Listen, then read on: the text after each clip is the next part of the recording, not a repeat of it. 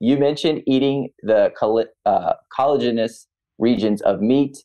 You said eat the joint capsule, but mm. isn't that bone? Question mark. Please share a few examples of of these regions. Yeah, so I think what they were referring to is I know in uh, previous Q and A's or in videos I've talked about when you look at a chicken wing. So you know a lot of people order chicken wings. You know I I enjoy chicken wings. You probably do as as well, Hampton.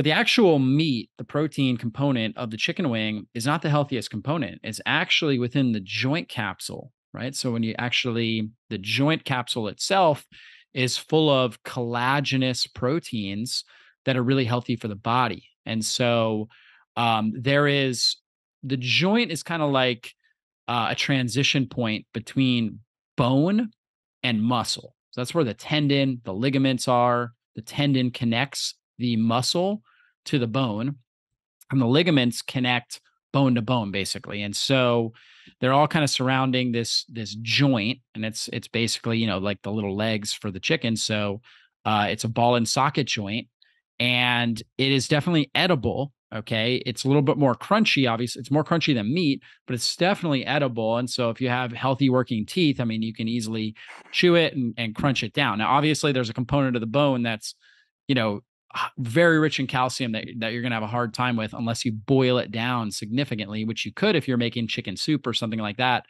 Um, you can actually boil it down. You can actually eat a lot of these, you know, bones that you would think are unedible. In fact, our ancestors, many of them would actually do that. That's how they make the bones and the minerals in the bones and the proteins in the bones edibles. They would boil it down uh, in water, and that's you know you can get you, you free up all those uh, key nutrients that are in there. However, if you're just eating chicken wings, just take a, a, a you know a, a munch out of the uh, synovial joint, the head of it, and you're going to get a lot of these collagenous proteins. Plus, inside of there, inside the bone, once you once you take off the joint capsule, that's where the bone marrow is. So the bone marrow is on the inside of the the long bone, and so you, then you go ahead and you just kind of suck at it, and you'll get some of that bone marrow out. it doesn't taste bad; it actually tastes quite good and that's where you get the most nutrients when you're consuming something like chicken wings.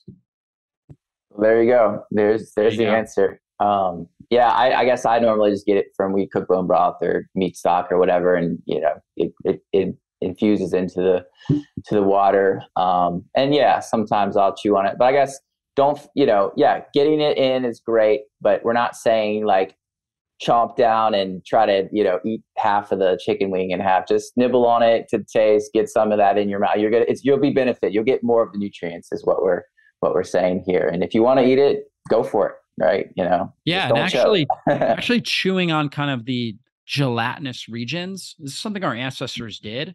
And when when like for example weston price who was this famed dentist Mm-hmm. He has a Weston Price Foundation. He went and looked at Aboriginal cultures in Africa, and they were eating, you know, the whole animal, for example, and they would eat a lot of this collagenous regions, these collagenous regions, and it's harder to chew on tendons and ligaments and joint capsules. They're harder to chew, but actually that made their jaw stronger and more rounded, which was associated with healthier dental health, right? Just better dental health in general um, and also better breathing. So you actually, when you're challenging your jaw like that, although it can be uncomfortable, just like exercise, you know, can be a little uncomfortable, but doing it from time to time, and you might have to start small so you don't get a cramp in your jaw or anything like that.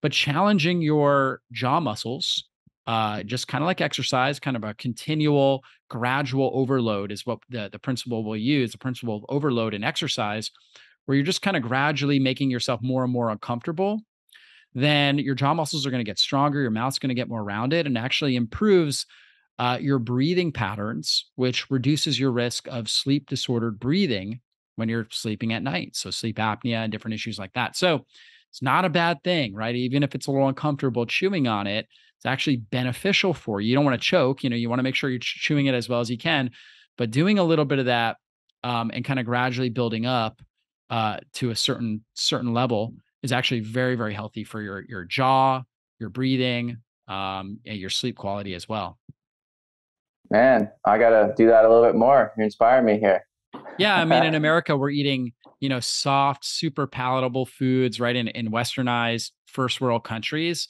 we try to make everything super easy to digest. And there's a time and a place for that. And we just talked about coming off the fast, somebody that maybe has digestive compromise. There's definitely, it's a great thing that we have foods that are very, very easy to break down and digest. But the reality is we either use it or we lose it.